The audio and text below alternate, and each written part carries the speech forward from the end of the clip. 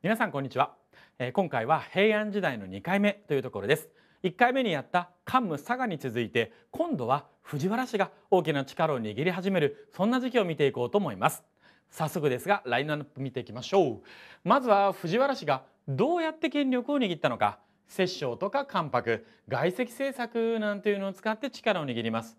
そして具体的に誰が藤原の義房それから元常が大きな力を握ります。どうやって力を握るか？こういった女王の変王天門の変赤穂の紛議といった事件でライバルたちを潰し一方でねこれ両の儀下なんていうものが編纂されたりとかあるいは藤原氏のライバルとして菅原道真なんていう学者が出てくる遣唐使廃止というところまで今回扱っていきます。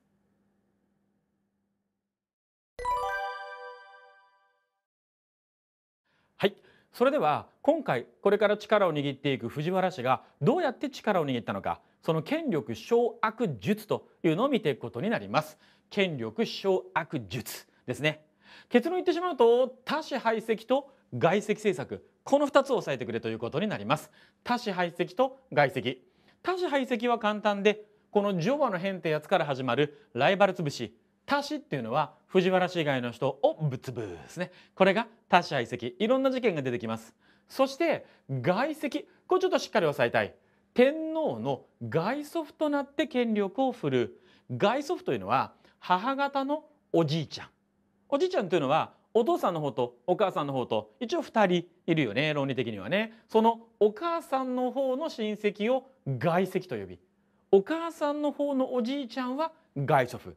ちなみにおばあちゃんは外祖母なんて言います。こうやって力を握る、まあ、先に言うとそれで摂政関白なんてやつになっていくんですが摂政関白。イメージはかな？こんな感じ。例えば例えば天皇あ藤原氏がいて天皇とどういう関係を作るか。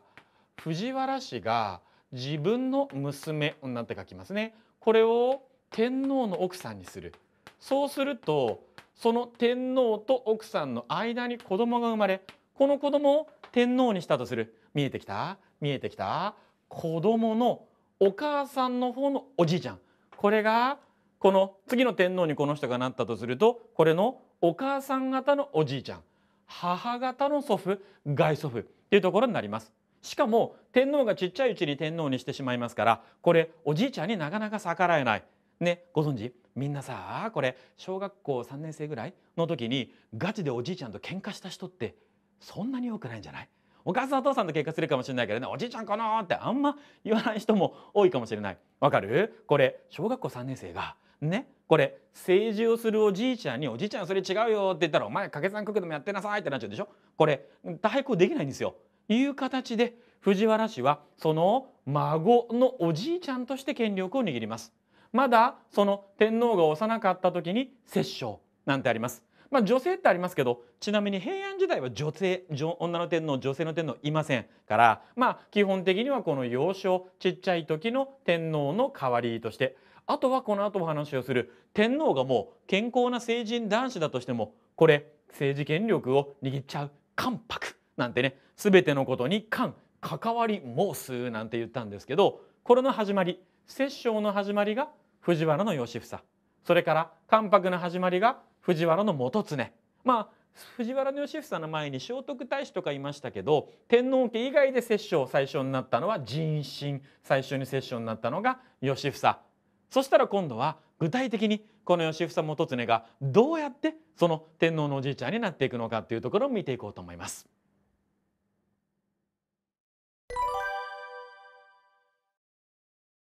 はい。そしたら実際に今度は藤原の義房の時代の政治を見ていきましょう。どうやって彼が権力を握っていったか。義房ってあります。もう名字省略しちゃってますけど藤原の義房。一番最初はですねこの義房の頭は別に義房がやったわけではないんですが養老寮の感染注釈書振り仮名をしっかり寮の儀下いうのができました。養老律令大法律令もそうですけどできてからもう100年以上経ってますからちょっと古くなって分かりづらくなってそれを注釈書って分かりやすく、まあ、感染ですからお国が国家がお役所が作ったね私に作ったのとは違う感染注釈書両の儀下とにかくもう何回も繰り返してみましょう。両の儀下両の儀下両の儀下10回言ったらそれでも OK いうこと。読み方チェックね。両の儀下そして吉房です。ライバルを潰すいわゆる多子排斥。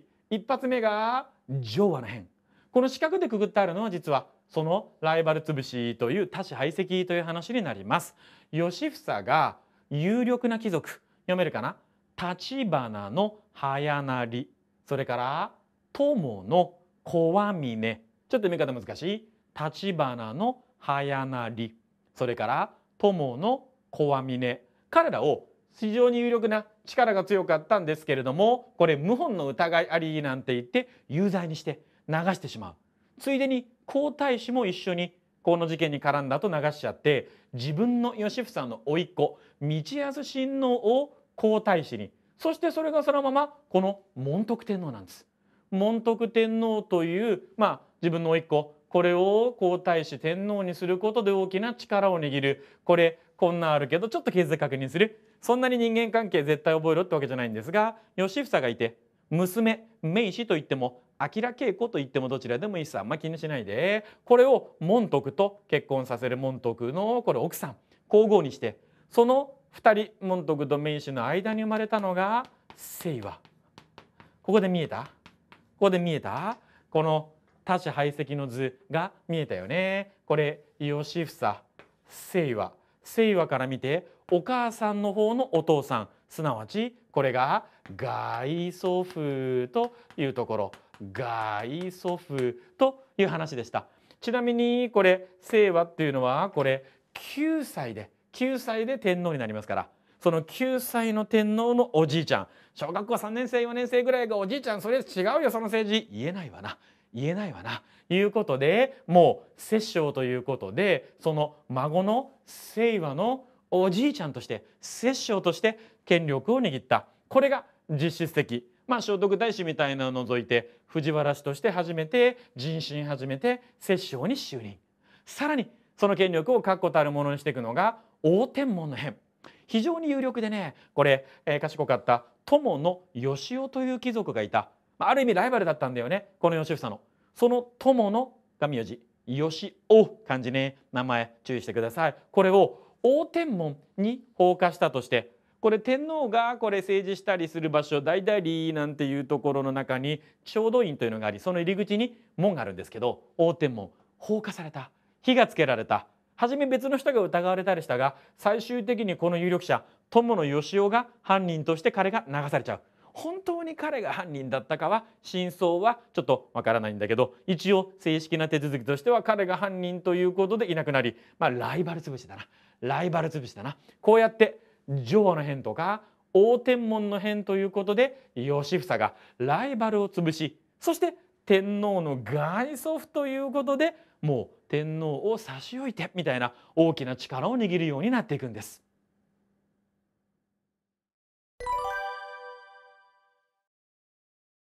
はい。今度は続きですね。藤原の元常の時代。ということです。義房の子供元常が権力を握ります。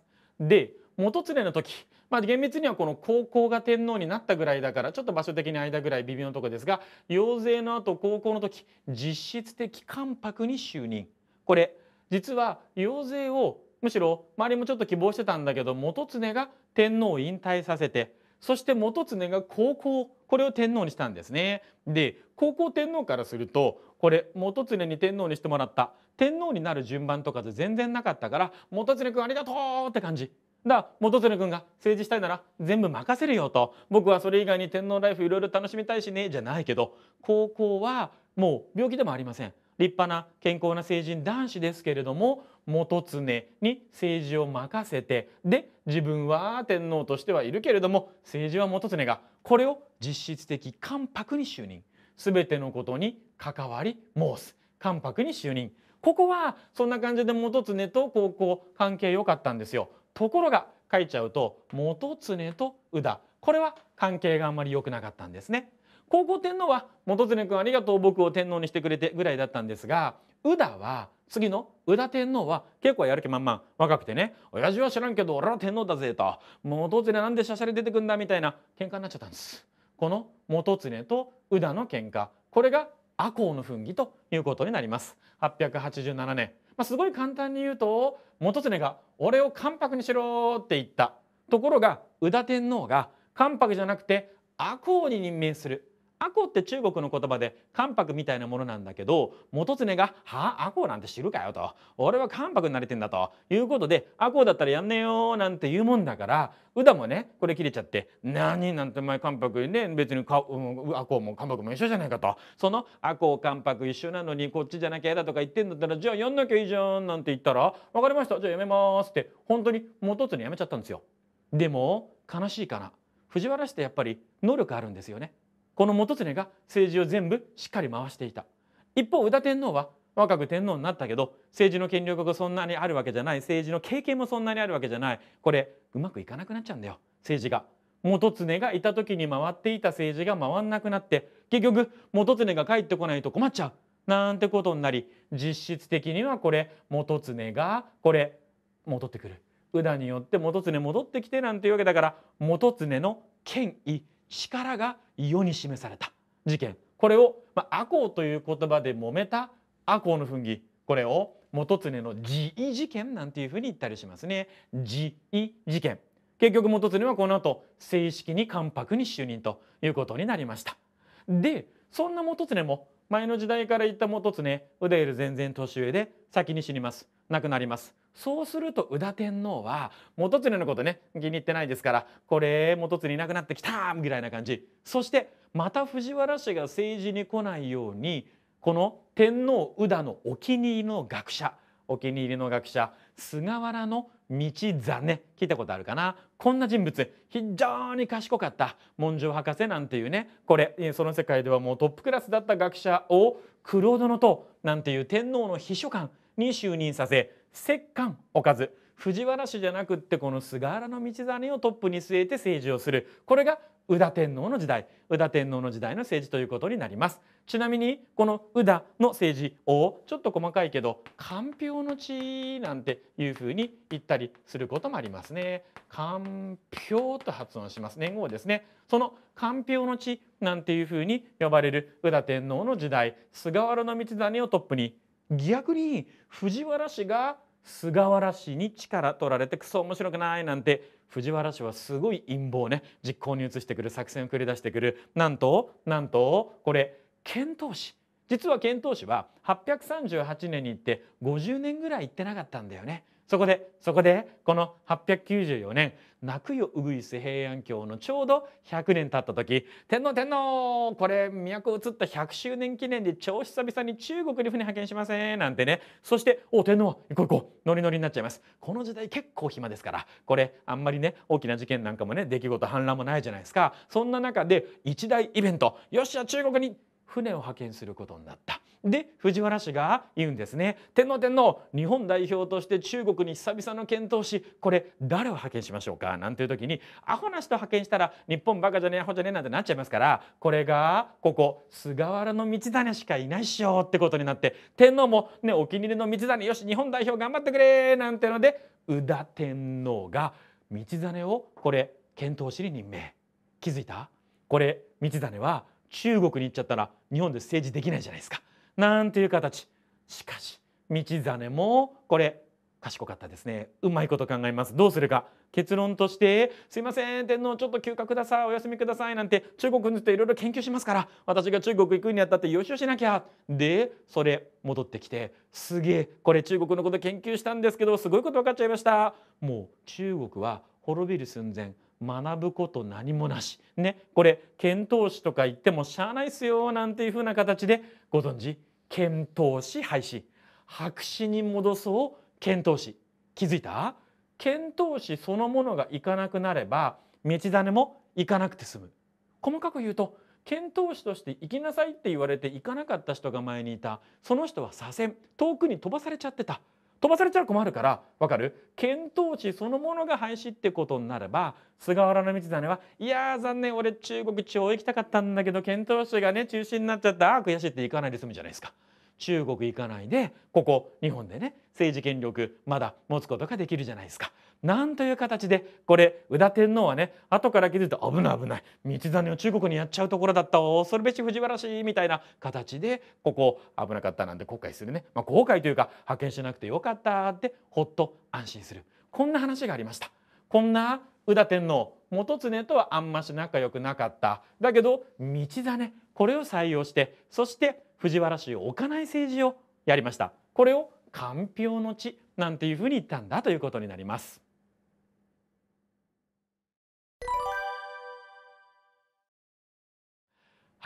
そしたら今度は練習。最後ねまとめていきましょう。藤原氏がいっぱい出てきました。まずは藤原氏の権力掌握術。やり方ですね。藤原氏は多子排斥とそれから外籍政策というところ。よいしょ。外籍政策ってどんな政策ですか？外籍政策は説明できるようにしたいね。天皇の外祖父となって大きな権力を握る。母方のおじいちゃんとなって大きな権力を握る。これが外籍政策でした。そしていきましょう。人心として天皇家とかじゃないってこと。初めて何とかになったのは藤原義房。まあ摂政ですね。人心最初の摂政が藤原の義房。そして初の関白。これは人心も何もなくて本当に最初です。これが藤原の元常。義房お父さんとそれから元常が子供。義房の方が摂政で元常の方が関白。こんな形でねセット押さえるようにしてください。藤原の元常が関白。それからその義房の時代感染注釈書といったら読み仮名が重要だった。読めるかな？読み仮名が重要だった。こんなん書いて読み方。よいしょ。両右の義下両右の義下振り仮名を確認したらあとは多種排斥です。ライバル潰しです。藤原の義房。842年に立花の早成をやっつけたのが時の年号から上和の変。上和の変。それから866年友の義雄を排斥した。これも多子排斥事件という形で押さえてね。大天文の変。上和の変と大天文の変。こんなんで義房が大きな力を握り。そしてその後元常が大きな力を握り、まあ、宇田天皇との対立の中元常の自意事件。元常の権威を世に示した事件。これちょっと難しかったかな。全部で5文字になります。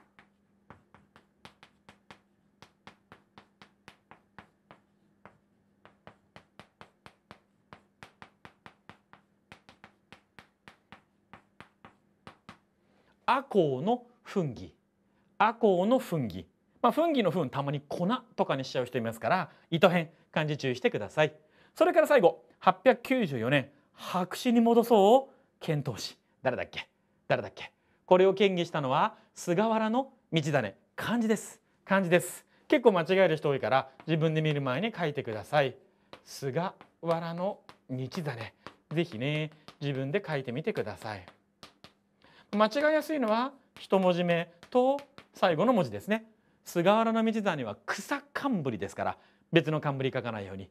道真のザネは写真のシーンですけど純粋にど忘れあれ？みたいな。ザネってなんだっけってなっちゃう人いますからここはしっかり菅原道真と書いてくれれば OK というわけで義房の時代にこういうことが元常の時代にこういうことがいうふうにね区別しながら押さえるようにしてみてください。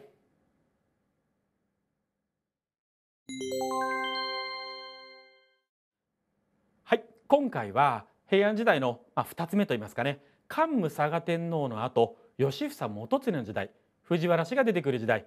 この後醍醐村上天皇と天皇がもうちょっと頑張った後道長頼道というふうになっていく、まあ、その2パート目2つ目みたいなそんなイメージとして捉えてください平安時代は全体が長いですから今どの辺りをやってるかなってことを常に忘れないようにしながらね勉強していくのがポイントかなと思います。